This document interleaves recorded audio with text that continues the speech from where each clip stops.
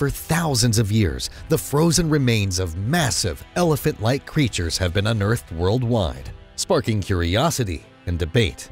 Mammoths and mastodons were two of the most recognizable giants of the Ice Age, their enormous frames and towering tusks making them seem like twin relics of a lost world. Yet despite their similar appearance, they were distinct species with unique adaptations that shaped their survival. These ancient titans walked the same lands, yet they lived in separate worlds, one built for the icy tundra, the other for dense forests. Their differences went far beyond just size or shape. They had unique diets, behaviors, and survival strategies that set them apart in ways you might not expect. So, what truly separated a mammoth from a mastodon? Mammoths were generally larger and more slender compared to mastodons. The largest species, the Columbian mammoth, or Mammuthus columbi, stood up to 4 meters or 13 feet tall at the shoulder and could weigh around 10 to 12 metric tons, making it one of the biggest land mammals of its time. The famous woolly mammoth, or Mammuthus primigenius, though slightly smaller, still reached around 2.7 to 3.4 meters or 9 to 11 feet tall and weighed between 5 to 8 tons.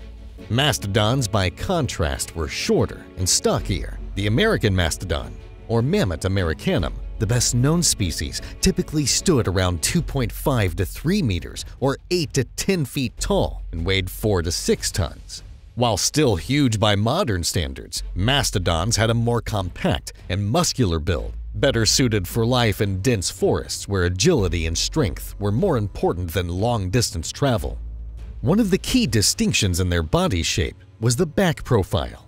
Mammoths had a high arched back, with a prominent shoulder hump caused by elongated vertebrae and thick fat reserves. This adaptation was especially crucial for surviving in Ice Age climates, as it allowed them to store energy for harsh winters. Mastodons, on the other hand, had a flatter back with a more uniform height, giving them a sturdier, more grounded appearance. This lower, more level body structure helped them navigate through heavily wooded areas, where their bulk was better suited for foraging on trees and shrubs. The shape of their skulls further emphasized their differences. Mammoths had high domed skulls, similar to modern elephants, which provided space for large jaw muscles suited for grinding tough grass. Mastodons, by contrast, had longer, lower skulls that were more primitive in design. Their flatter skull shape suggests a different jaw structure, designed for a powerful bite needed to process twigs, branches, and bark. Their tusks were another major distinction. Mammoths had long, curved tusks, with some individuals sporting tusks that could reach an astonishing 5 meters or 16 feet in length. The curvature of mammoths' tusks varied by species, with woolly mammoths having more dramatically curved tusks, possibly for digging through snow and ice to reach buried vegetation. Columbian mammoths had slightly straighter tusks, but they were still far longer and more curved than those of mastodons. Mastodon tusks were shorter, thicker, and less curved, generally growing around 2.5 meters or 8 feet in length. Unlike mammoth tusks, which were sometimes used for fighting and dominance displays, Mastodon tusks were likely more useful for breaking tree branches and stripping bark, in line with their browsing diet.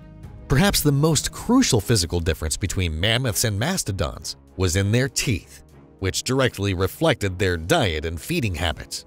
Mammoths were grazers, meaning they primarily fed on grasses, much like modern elephants.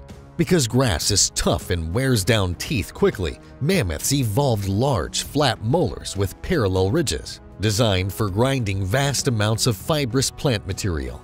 Their teeth were replaced several times throughout their lives as older molars wore down and new ones grew in from the back of the jaw.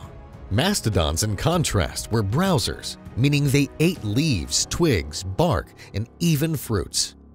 Their molars were completely different, conical and cusped, resembling those of carnivores more than modern elephants these sharp, raised cusps allowed them to crush and chew woody plants, which required more force than simply grinding down grass. Unlike mammoths, whose teeth were specialized for endurance grazing, mastodons' teeth were better adapted for breaking apart tougher plant material. This dietary difference was a major factor in shaping their habitats and lifestyles. mammoths were built for open landscapes, thriving in vast grasslands, steppes, and tundra regions. They were found across North America, Europe, and Asia, with different species adapted to different climates. Their migration patterns followed the expansion of Ice Age grasslands, allowing them to survive in harsh climates by constantly moving to find new food sources. Mastodons, on the other hand, were forest dwellers. They primarily lived in North and Central America, favoring densely wooded environments where they could browse on leaves, twigs, and bark. Fossil evidence suggests that mastodons were particularly abundant in regions with temperate and boreal forests, where they could find ample tree cover and food. Unlike mammoths, which adapted to open landscapes, mastodons thrived in swampy and forested areas, which provided them with plenty of woody vegetation to eat. Mammoths and mastodons also had very different social structures and movement patterns. Like modern elephants, mammoths lived in large matriarchal herds, where older females led groups of related individuals. Fossilized trackways and bone beds suggest that mammoth herds were highly organized, moving in predictable migration patterns and using collective memory to locate seasonal food sources. Their ability to migrate was crucial for survival, especially for woolly mammoths, which endured harsh winters in the Ice Age tundra. Mastodons, in contrast, likely had a more solitary or small group lifestyle. Evidence from fossilized remains suggests that adult male mastodons, much like modern-day bull elephants, often lived alone or in small groups, while females may have formed loose family units. Their home ranges were also much smaller than those of mammoths, as forests provided a stable and localized food supply that did not require long-distance migration. For thousands of years, mammoths and mastodons thrived across North America, Europe, and Asia, adapting to harsh climates and competing with other Ice Age megafauna. However, despite their long history of success, both species met the same fate – extinction. One of the primary causes of their extinction was climate change at the end of the Pleistocene epoch, around 12,000 years ago. This period marked the transition from the Ice Age to the Holocene, bringing dramatic shifts in temperature, precipitation, and ecosystems. For mammoths, particularly the woolly mammoth, the warming climate was disastrous. The vast grasslands they depended on, known as the mammoth steppe, began to shrink as forests expanded in the warming conditions.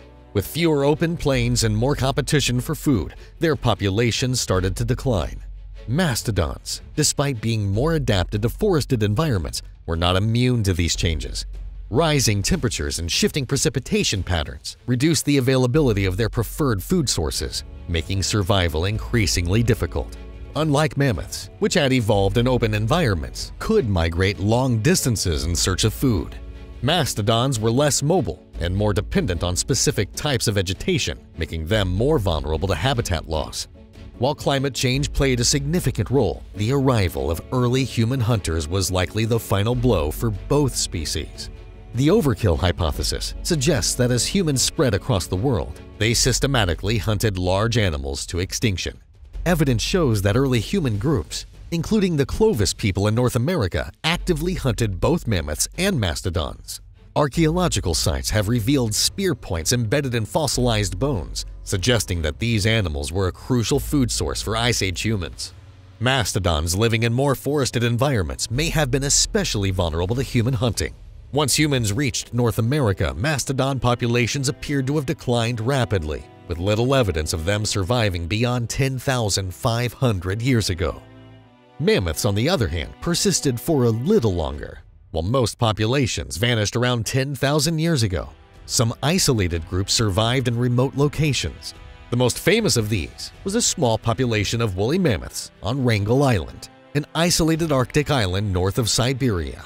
These mammoths managed to survive until about 4,000 years ago, meaning they were still around when the pyramids of Egypt were being built. However, they eventually succumbed due to genetic inbreeding, habitat loss, and possibly even human hunting. Some scientists have also suggested that disease may have contributed to the extinction of mammoths and mastodons. As human populations expanded, they may have introduced new pathogens that these animals had no immunity against, while this theory is still debated, it remains a possibility that diseases played a secondary role in weakening already struggling populations. Additionally, competition with other Ice Age megafauna may have intensified during the end of the Pleistocene. Species like bison, deer, and horses, which were more adaptable to changing climates, may have outcompeted mammoths and mastodons for food. Carnivores like dire wolves and saber-toothed cats also depended on these large herbivores as prey, and as mammoth and mastodon numbers dwindled, predator populations may have collapsed as well. Despite their extinction, mammoths and mastodons continue to fascinate scientists and the public alike. Their frozen remains, preserved in permafrost, have provided extraordinary insights into their biology, diet, and interactions with humans. In recent years, there has even been talk of bringing woolly mammoths back through cloning and genetic engineering, with scientists attempting to insert mammoth DNA into Asian elephants to create a hybrid species that could live in Arctic conditions. Mastodons, though less famous than mammoths, remain one of the most important Ice Age mammals in North American prehistory. Their fossils continue to be discovered across the continent, often revealing clues about the ecosystems they once inhabited. While they may be gone, their role in shaping Ice Age landscapes and human history remains undeniable. That's all for today. If you enjoyed this video, don't forget to like, subscribe, and share it with your friends. You can also leave a comment with what you would like to see in the following videos. Thanks for watching. See you next time.